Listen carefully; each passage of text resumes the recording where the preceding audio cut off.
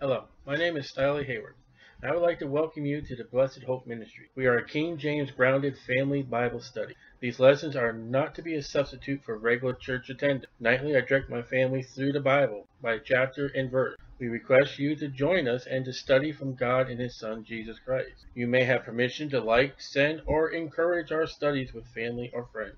Edification of what God has and what He desires in our life. Study to show thyself approved unto God, a workman that needeth not to be ashamed, rightly dividing the word of truth.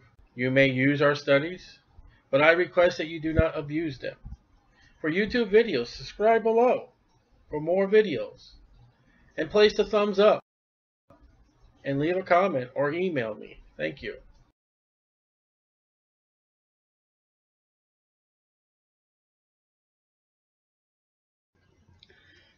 Numbers, I'm going to say Exodus. Numbers 28.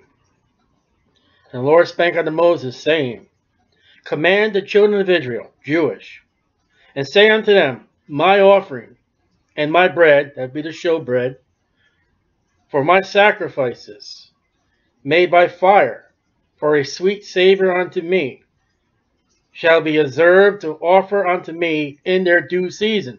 So we've got all these feasts of the Lord's. You can't come in and say, well, on the seventh month, the eighth day, I'm going to bring the Passover. You can't do that. It has to be its proper time. And thou shalt say unto them, This is the offering made by fire, the brazen altar, which ye shall offer unto the Lord, no others, two lambs of the first year without spot, day by day, for a continual burnt offering. Now, with the Jewish calendar daily, at least 720 lambs a year. Just for this one right here, it's going to say, One lamb shall thou offer in the morning, the other lamb shall thou offer at evening. So, right there, if they did properly through the whole year, every year, because there's no leap year in the Jewish calendar, 30 days, according to the lunar, the moon, would be 720 lambs a year. 360 days. One lamb shalt thou offer in the morning, type of second advent. The other lamb thou shalt offer at the evening, type of church age. And a tenth part of an ephah of flour. It's a measurement of flour for the meat offering. And we went through Leviticus. That meat offering is the flour. Mingled, mixed with a fourth part of a hin of beaten oil. There's the Holy Spirit. There's Jesus Christ, Isaiah 53. Oil would be the olive oil, and that would be beaten. And that olive oil is a type of, of the Holy Spirit. It's what gives light inside the holy place. It's a continual. You do it constantly. Burnt offering, which was ordained in Mount Sinai, Exodus 20, 21, 22. And for a sweet savor, smells good, a sacrifice made by fire unto the, unto the Lord. Now, what's the sacrifice? You have to give up one of your lambs. You have to give up the other lamb. You have to do the work. Time, the resource of the lamb itself, and then the flour. Sacrifice is giving. For God so loved the world that he gave. And that giving is Jesus Christ, our sacrifice. And the drink offering thereof shall be a fourth part of a hin for the one lamb in the holy place. Shall thou cause the strong wine, ooh, there's strong wine, to be poured unto the Lord for a drink offering. And it says in the holy place, that's where the table, the incense altar, the candlestick. It doesn't tell you where it's to be. It says to be poured out in the Lord. I don't know where it goes.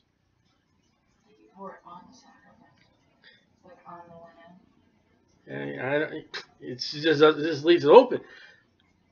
It says, four part of hin for the one lamb in the holy place thou shalt cause a strong wine. See, somebody would want to drink it. You pour it out before God. Maybe just on the ground. Because it would be holy ground if it's a holy place. And the other lamb thou shalt offer at even, night 6 p.m. You got 6 a.m., you got 6 p.m. As the meat offering of the morning, verse 5, as a drink offering thereof, thou shalt offer it, a sacrifice made by fire of a sweet savor unto the Lord. So this morning lamb this, this evening lamb, the 6 a.m. to 6 p.m. lamb, it's the same offering, just a different time. And this was to go on every day. And on the Sabbath day, all right, well, we're not supposed to do any work on the Sabbath day. And they always pestered Jesus and disciples about the Sabbath day. Oh, you're supposed to rest. You can't carry your bed. You can't be rubbing, you know, corns between your fingers. This is the Sabbath day. Well, let's look. And on the Sabbath day, two lambs of the first year without spot, and two tenths deal of flour for a meat offering, mingled with oil, and a drink offering thereof. So even on the Sabbath day, the day of rest, in the tabernacle, in the temple, the priests are offering that morning lamb and that morning and that evening lamb just as much as any other day. Seven days. This is the burnt offering of every Sabbath, besides the continual burnt offering and his drink offering.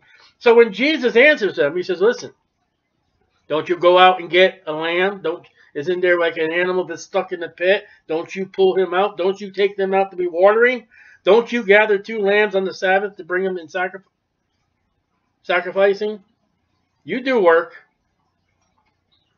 In the beginning of your months, the new moon, the first day, ye shall offer a burnt offering unto the Lord.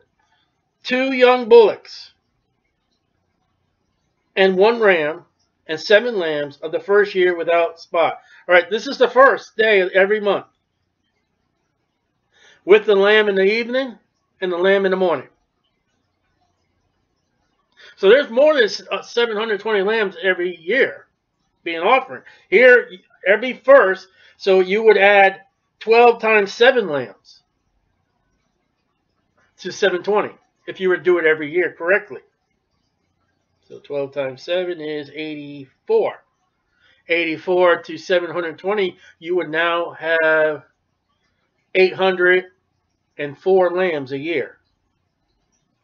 And two young bulls. And you figure out you, the number gets just very huge with these animals. One ram, seven lambs of the first year without spot. these lambs would be no spotted, pure color, no bruises.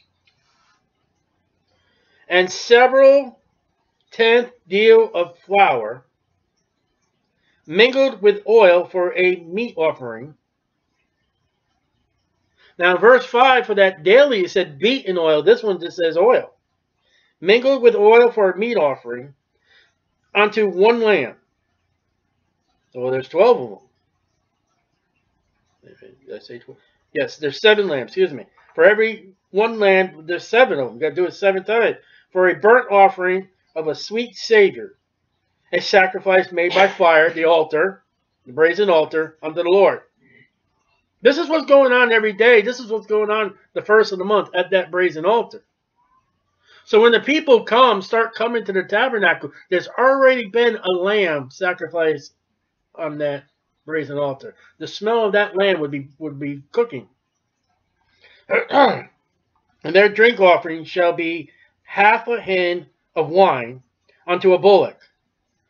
And there were two young bullocks and the third part of a hin unto a ram, and the fourth part of a hin unto a lamb.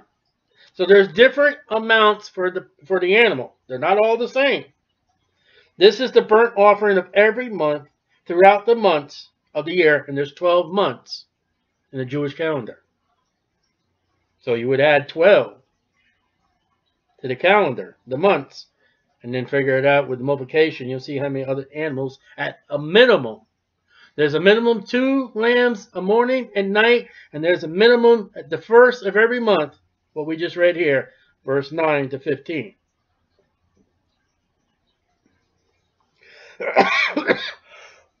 Excuse me one kid goat of the goat, one kid of the goats for a sin offering. So here's a goat being offered as a sin offering. And the Lord shall be offered, unto the Lord it shall be offered, besides the continual burnt offering, verses 3 through 8, and his drink offering. Okay, another another paragraph talking about the year. And then the 14th day of the first month is the Passover of the Lord. So here's another sacrifice season. And I don't know if anybody's ever got this worked out. If they were properly to do the, the 360 days, the 12 month, I wonder how many of these animals would have been killed within a year. And I'm not counting the people who brought an offer. I'm talking about all the uh, the Day of Atonement, the, the Passover, the feast. Of, yeah, you, you just imagine somebody would sit down and figure this out. If the nation, this is say, for the one year, did everything like they're supposed to. And then when you get over Hebrews, it said eh, not of the bull of the of the bulls or goats, but the blood of Jesus Christ without spot. He says the precious blood. Even though they don't have a spot, blemish uh, they may do because they got blood, and there's something wrong with our blood today. it's been cursed. It's under the ground. They eat the, the cursed food from Genesis 3. The 15th day of this month, the first month, is a feast. Seven days shall unleavened bread be eaten. All right, this is the feast of unleavened bread. This this accommodates that when they got out of Egypt, they grabbed their dough. They were unable to put leaven in their dough, and they put the, it says they put it in, in the, over their shoulders with the kneading troughs. In the first day of the feast of unleavened bread, which is a week, shall be a holy convocation. Ye shall do no manner of servile work therein. Now that's where America wants. America solely puts her holidays where they don't have to go to work. And they don't even realize that comes right out of the Bible. I mean, of all the stupid days in America to have a day off is Labor Day. Uh, duh, you would think Labor Day is the day that you labor. In these holidays, holy days of the Lord is you're not doing no work. Don't go to work. And America changed it. They put the holy into a holly with a Y. Changed to an I. These ones are worshiping the Lord. Yeah. And nowadays you're worshiping yourself. Worshiping your nation, dead person. You know, it's always funny. You know, it's this guy's birthday. Well, he's dead. He doesn't use them no more. And we only have one birthday. Well, here is before God. And Passover is one of those holidays you had to go to when it's established in Jerusalem. Right now, it's not Jerusalem. You shall do, and no man is servile work there, and that's one of the problems the Jews had. They worked. That's what caused one of the sins of Babylon to come, that God got angry. They worked on the Sabbaths. But ye, Ye shall offer a sacrifice made by fire at the brazen altar for a burnt offering unto the Lord. All right, this is the first day of unleavened bread. Ready? Add this to it. Two young bullocks, one ram, and seven lambs of the first year. They shall be unto you without blemish. And their meat offerings with shall be flour mingled with oil. Remember, that's the meat offering. Flour and the oil. The only thing that differs is how much flour. Three tenths deal shall ye offer for a bullock, and two tenths deal for a ram. So the flour, the meat offering is not the same amount for all the animals. And there's probably a study about Jesus about that too. A several tenth deal shall thou offer for every lamb. I don't know what a several tenth deal is. We see two tenths we see three tens, but it's several. I don't know what number several is. Offer for every lamb throughout the seven lambs, but the priests had to know. Because if they didn't offer that that specific amount, God would burn them up. Do you realize that? I think it means you put a tenth deal with each animal that's several. Yeah, it could be, yeah. Yeah. It would work. One goat for a sin offering. So here's a goat for a sin offering. This is the first day of the feast. There's seven days to make an atonement for you. That would be Leviticus 16:30. Ye shall offer these besides the burnt offerings in the morning, verses 3 through 8. So on the first day of the, of the, the Feast of Unleavened Bread, that priest gets up before 6 a.m. to make sure by 6 a.m. that lamb is on the fire like it's supposed to be. I don't know how long, how long it took them to prepare it, but in the morning, now you got going on later on, you got the people bringing their lamb and their bullocks. And at 6 p.m., that other lamb with what we already offered is going to be on the brazen altar at evening. One goat for a sin offering to be make atonement for you. Ye shall offer these besides the burnt offering in the morning, which is a continual burn, burnt offering every day. After the manner ye shall offer daily, throughout the seven days, the meat of the sacrifice made by fire. All right, this is the seven day, all every day of this feast. This is what you're to do, besides the continual offering, which is the two lambs every day of a sweet savor unto the Lord, it shall be offered besides the continual burnt offering. This offering, what we just read, for seven days, including those two lambs. And don't forget the first day of the month offering. And don't forget the 14th day, that lamb for the Passover. And then the 15th day, which goes to the 21st, you got them seven days you have to do. It was busy the first first month of the 14th day. Wait till you get to the seventh day when you got three or four different feasts going on. Listen, that tabernacle, that temple, doing right by God, it was active. There is just smoke and fire and washing and priests going in and doing. After this manner shall you offer daily throughout seven days the meat of the sacrifice made by fire of a sweet savor unto the Lord, it shall be offered besides the continued burnt offering and his drink offerings. Don't forget the drink offerings. And on the seventh day, all right, the seventh day of this holiday, holy day, ye shall offer a holy convocation. Ye shall do no servile work. There, shall do no servile work. That's slave or servant work. And in the day of the first fruits, here's another feast.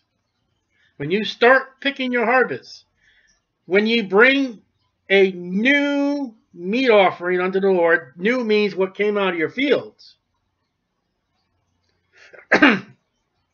After your weeks be out, harvest, ye shall have an holy convocation, assembly, Convocation means assembly. Everyone gathers together. You shall do no servile work. After you've done all the work of the, of the first harvest and all that, take a break.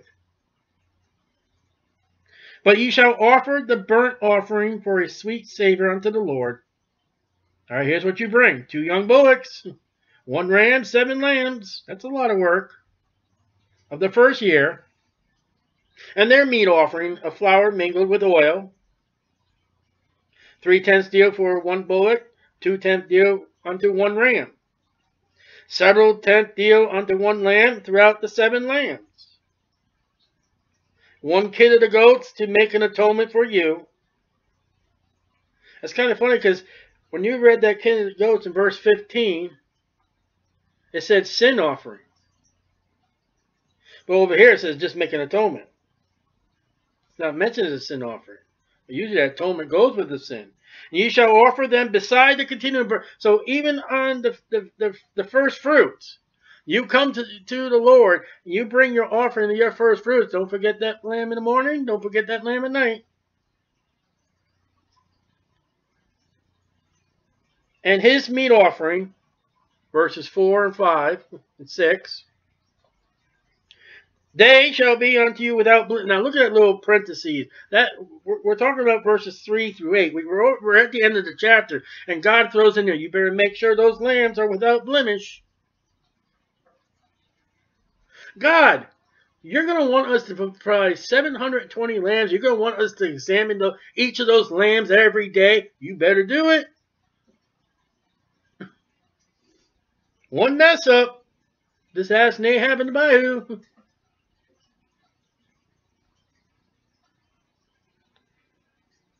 and their drink offerings. And he closes like that.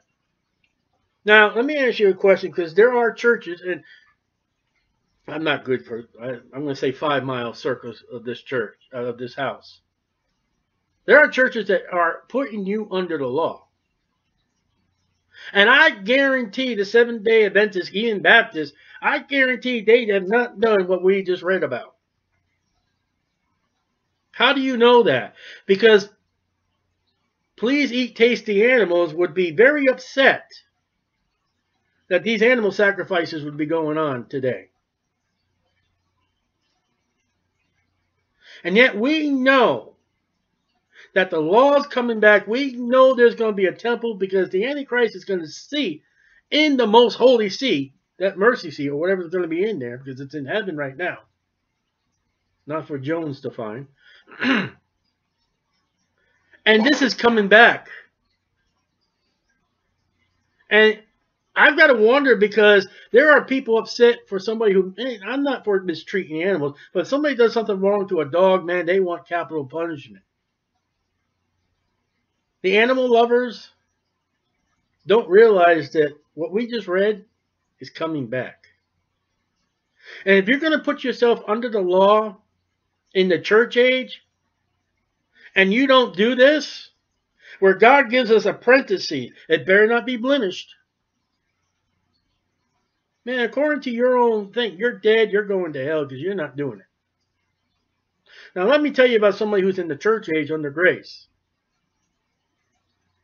I'll take the Lamb of God, which take away the sin of the world, all the sin, by confessing and that God is able and just to forgive me my sins by the Lamb of God the precious lamb, without spot, without spot, no blemish, holy, righteous. I'll trust him to take care of my sins and, and to please God by his sacrifice upon Calvary once for all. Once for all. Don't have to do it every day. Those lambs being burned in the morning, Jesus Christ said, no, no more. I took care of it. Those holy holidays. You got to do it for. Jesus says, nope, it's all done. I took care of it.